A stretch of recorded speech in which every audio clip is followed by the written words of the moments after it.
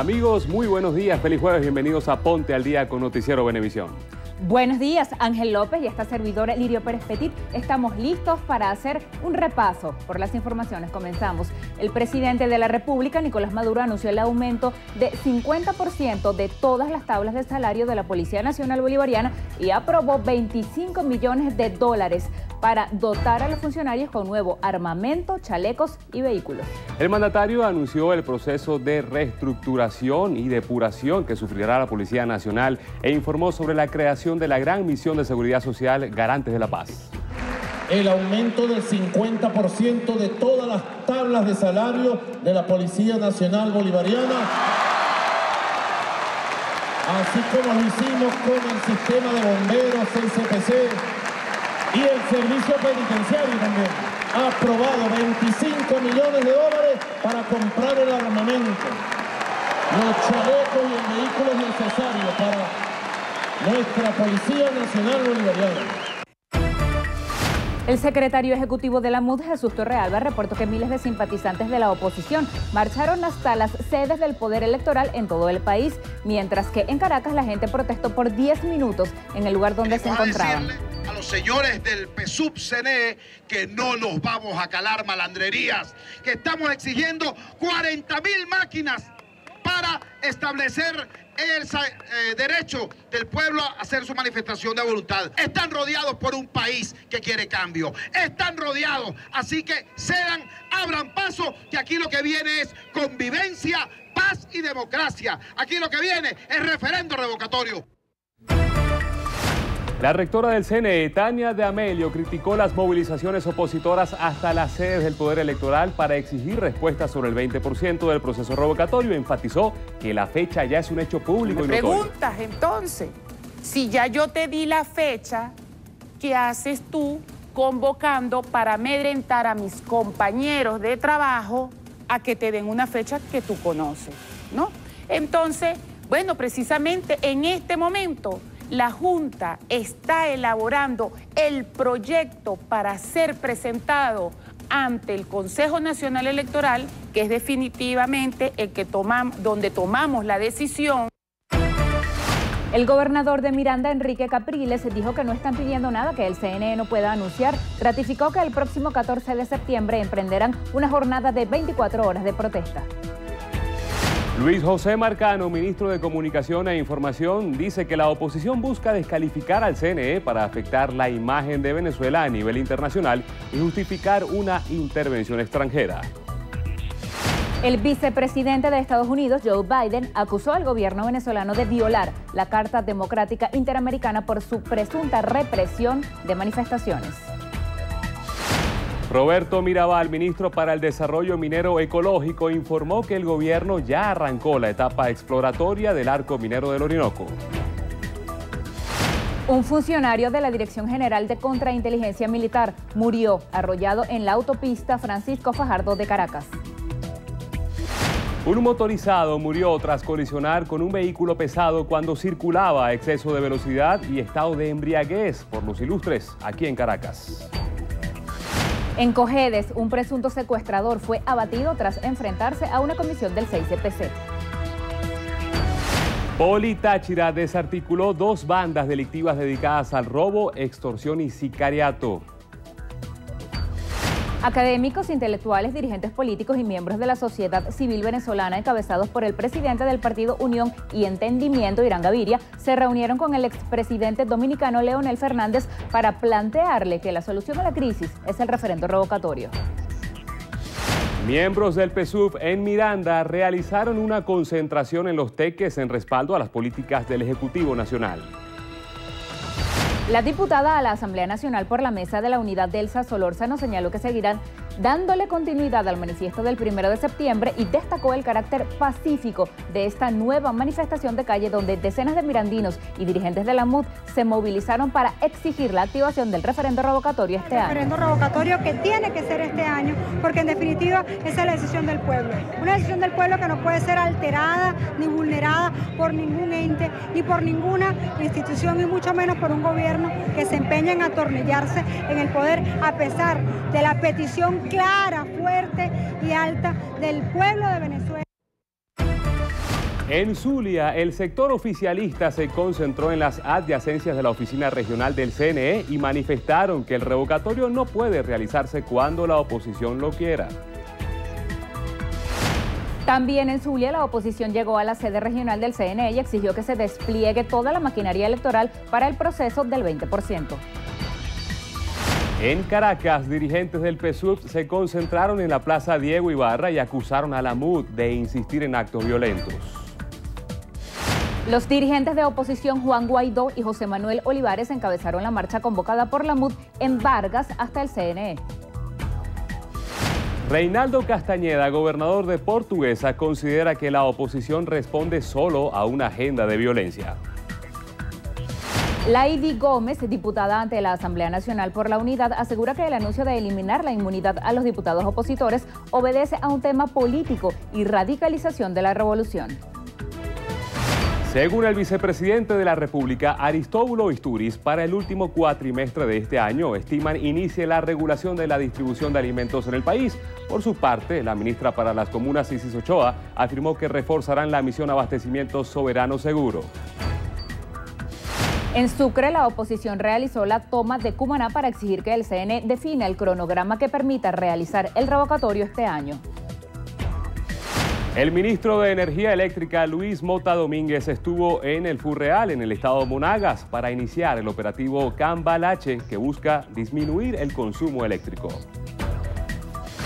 El secretario ejecutivo de FRETRA Salud, Pablo Zambrano, denunció ante el Ministerio de Salud que grupos violentos amenazan y agreden a pacientes y trabajadores del Hospital Clínico Universitario. Desde este viernes 9 y hasta el domingo 18 de septiembre se suspenderá el paso de trenes entre las estaciones Ruiz Pineda y las adjuntas de la línea 2 del Metro de Caracas por sustitución de la vía férrea.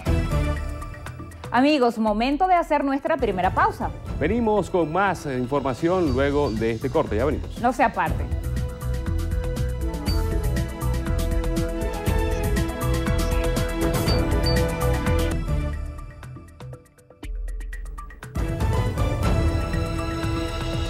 7.40 minutos de la mañana revisamos información internacional. En Guatemala, al menos 10 personas murieron en una localidad al sur del país tras un deslave causado por intensas lluvias. El suceso se produjo en la colonia Santa Isabel II el martes por la noche. De acuerdo con los cuerpos de rescate, dos menores de edad forman parte de las víctimas mortales. Las constantes precipitaciones ocasionaron que un muro de concreto se viniera abajo junto a un contenedor que cayó encima de las viviendas. En octubre de 2015, un hecho similar causó la muerte a 280 personas en el sector Cambra y al sureste de esa nación. Bien, y al regreso en entrevista a Venevisión nos acompaña Irán Gaviria, presidente del partido Unión y Entendimiento Puente. Ya está en estudio, Lirio Pérez Petit, conversa con él a la vuelta. Entrevista Venevisión líder en opinión, por tu canal independiente, Venevisión. Hoy en la entrevista a Venevisión recibimos a Irán Gaviria. Él es el presidente del partido Unión y Entendimiento. Puente, bienvenido y buenos días. Muy buenos días, Lirio. Muchas gracias por esta invitación. Siempre es un placer y un honor estar en Venevisión, estar en nuestra casa. Ayer usted estuvo en esa reunión que algunos representantes de la sociedad civil sostuvieron con el expresidente dominicano Leonel Fernández hasta donde se pueda por el tema de que ellos son miembros de una delegación de la UNASUR que fue enviada para fungir como mediadores en el diálogo entre oposición y gobierno. ¿De qué hablaron? ¿Qué se puede esperar de ese resultado, de las eh, conversaciones que se están adelantando desde hace meses ya? Sí, ayer atendimos una gentil, generosa invitación del expresidente Leonel Fernández, quien, como tú lo has señalado y como lo sabe el país y la comunidad internacional, es uno de los tres expresidentes designados por UNASUR para facilitar el diálogo en Venezuela. Fuimos un grupo de venezolanos quienes desde nuestros distintos quehaceres, académicos, universitarios, comunicacionales, empresariales, políticos, queremos contribuir a que Venezuela salga de esta profunda crisis en paz y en democracia. Le ratificamos al presidente Fernández, porque no es la primera vez que nos reunimos con él, nuestra visión de la situación nacional. Él la conoce. Eh, hay un país que tiene la más alta inflación en el mundo, hay problemas de desabastecimiento, alimentos, medicinas, repuestos, insumos, el tema de la inseguridad personal, el colapso de los servicios públicos. Y al lado de esta crisis socioeconómica que avanza y hace estragos a pasos agigantados, hay una crisis político-institucional.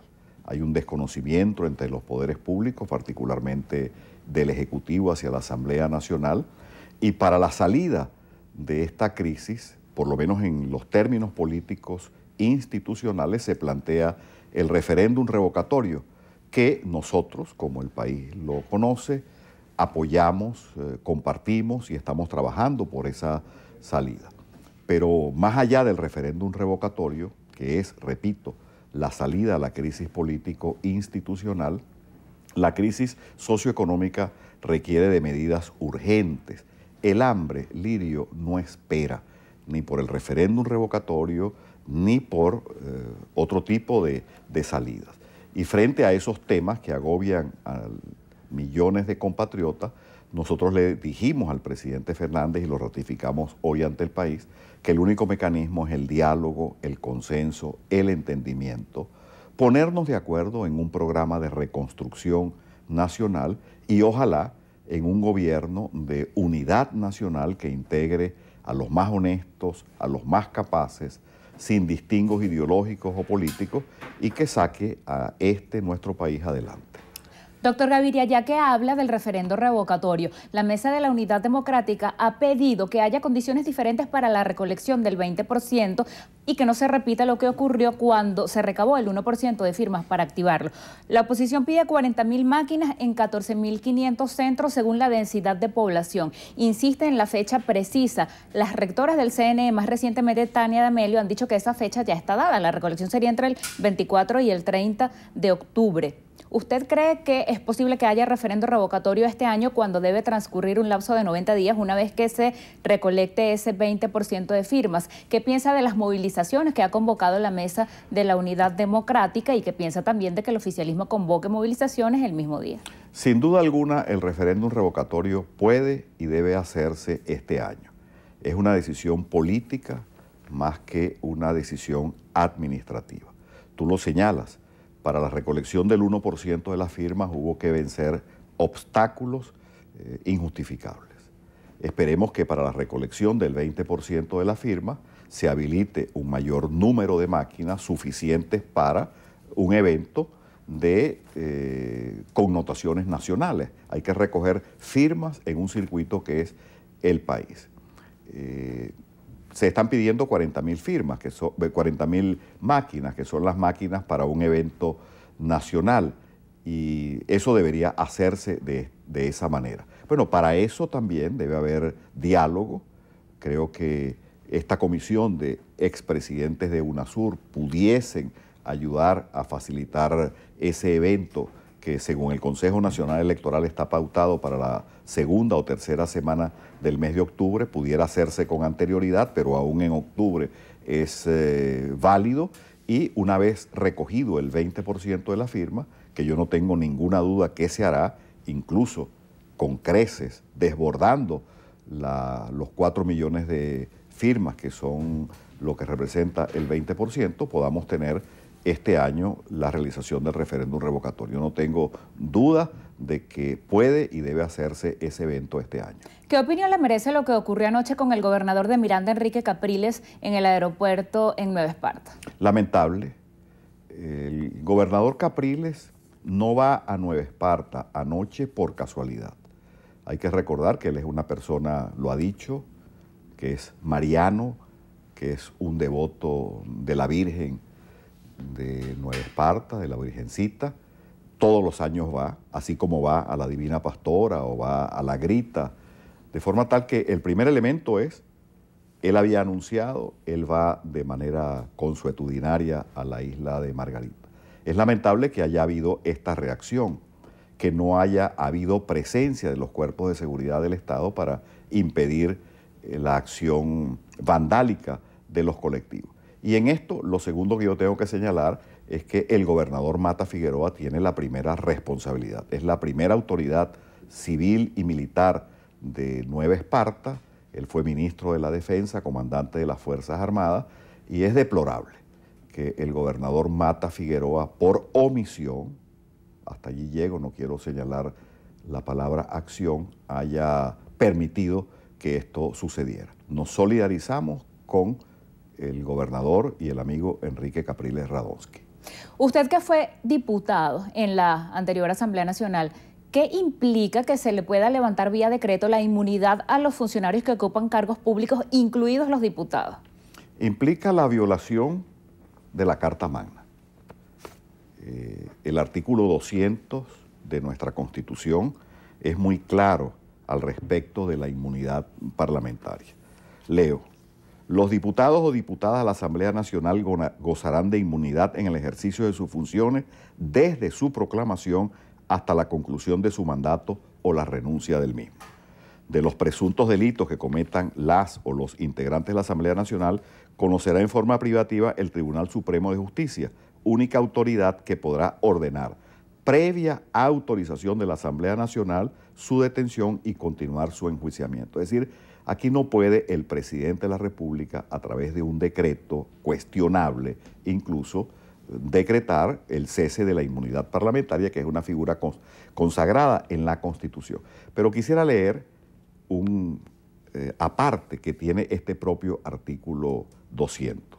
Los funcionarios públicos o funcionarias públicas que violen la inmunidad de los o las integrantes de la Asamblea Nacional incurrirán en responsabilidad penal y serán castigados o castigadas de conformidad con la ley.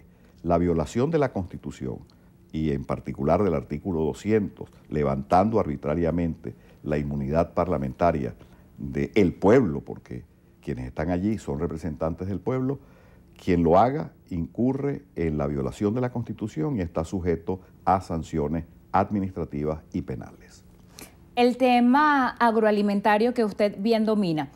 Hay una aparente contradicción entre voceros de dos instituciones. El presidente de Fedenaga, Carlos Albornoz, desmentía a Roger Figueroa, el presidente de Cavilac, quien decía que pronto se puede normalizar la producción de leche pasteurizada porque hubo un acuerdo para la entrega de divisas con el gobierno nacional. ¿Es posible esto? Usted que es médico veterinario, que conoce cuánto pasto necesita el ganado lechero. ¿Cuál es la realidad en el rubro leche pasteurizada líquida? La realidad en leche es la misma que en pollos, huevos, cerdos, carne, café, arroz, maíz blanco. La producción viene cayendo por las equivocadas políticas del gobierno. Nosotros llegamos a tener en leche un consumo per cápita de aproximadamente 100 litros habitante año y teníamos un rebaño bovino de unas 14 millones de cabezas que abastecían el 60-65% de la demanda nacional de leche. Ha caído la producción de leche, ha caído la producción de carne porque tenemos un rebaño de doble propósito. Hoy estaremos en unos 12 millones de cabezas de ganado cuando deberíamos tener 30 millones. Eh, han aumentado las importaciones de leche y no hay leche. Y cuando el ama de casa que quiere darle un tetero a su hijo o preparar un café, eh, va a buscar la leche en polvo pasteurizado de larga duración, tiene que pagar 4.999 bolívares por una bolsa de un kilogramo porque no hay producción nacional y no hay además divisas para la importación. Pero el drama de la leche es el drama del arroz, del café, del maíz, de la carne, de tantos productos que este gobierno ha ayudado a que disminuya la producción y que haya escasez y altos precios.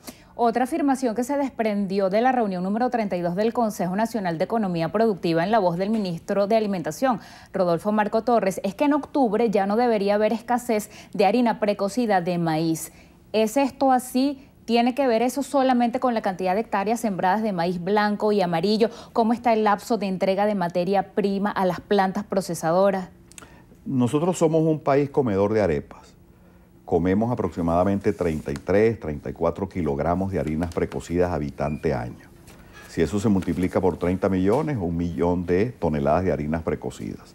Para producir un millón de toneladas de harinas precocidas de maíz, se requiere un millón cuatrocientas mil toneladas de maíz blanco.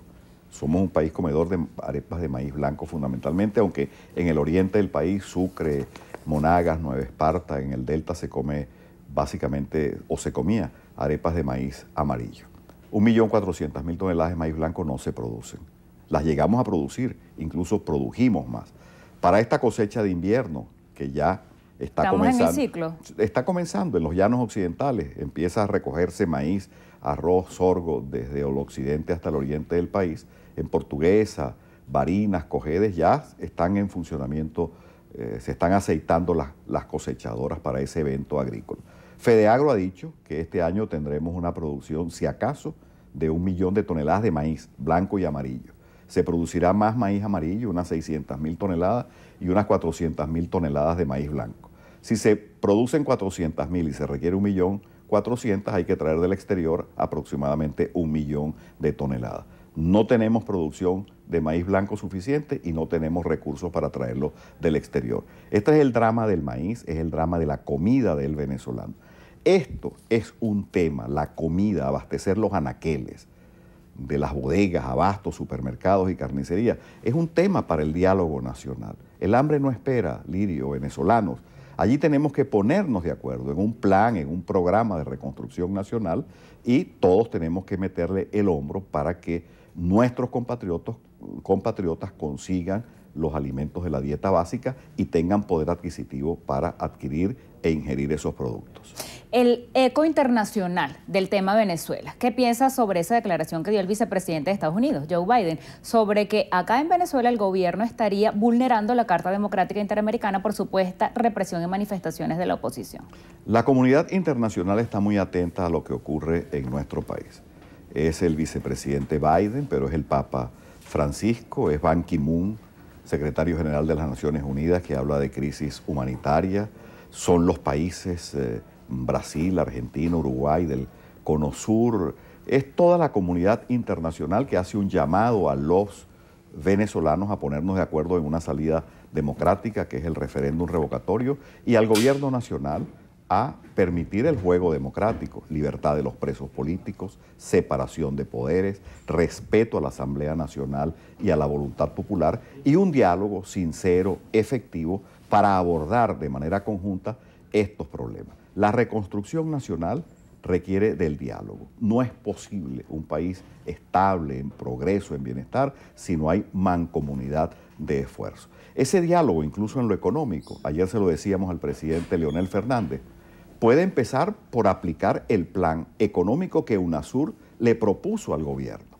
¿Cuál es ese plan? Es sencillo, unificación cambiaria, no podemos tener cuatro tipos de cambio, ajustes de precios, subsidio a los sectores más vulnerables de la economía, buscar financiamiento internacional, para lo cual hace falta un aliado en la Asamblea Nacional, porque no puede haber compromisos de endeudamiento internacional sin la aprobación de la Asamblea. Estos son los pasos que hay que dar. UNASUR en lo económico lo ha propuesto, pero la comunidad internacional tiene razón.